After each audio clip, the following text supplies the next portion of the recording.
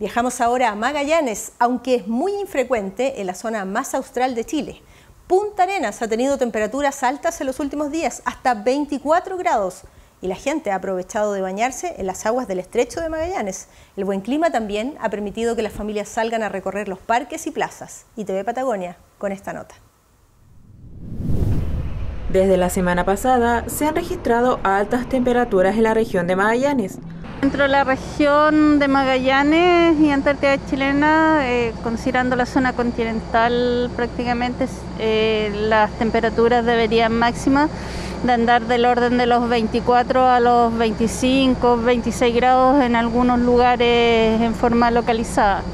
Principalmente eso es para la zona de Puerto Natales que en general en el verano estamos como con una diferencia en Punta Arenas de unos 5 o 6 grados más altos en la zona de Puerto Natales.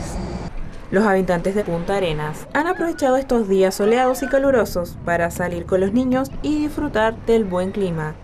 Está bastante agradable para poder salga a tomar un poco de aire, más que nada ella. Nosotros aquí trabajamos todos los días, salimos todos los días de la casa, pero ellos no. Así que por eso más que nada hoy día había que sacarla, ya que el día está bastante bonito. Acá jugando con mis nietos, aprovechando el día bonito. Muy bonito el día, quedando con mis nietas, paseando un poco y aprovechando esta tarde hermosa. Divertido, sí, con ellos, aprovechar para que jueguen.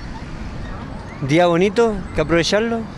Se mantienen las altas temperaturas en la región. Se espera que alcancen un máximo de 21 grados,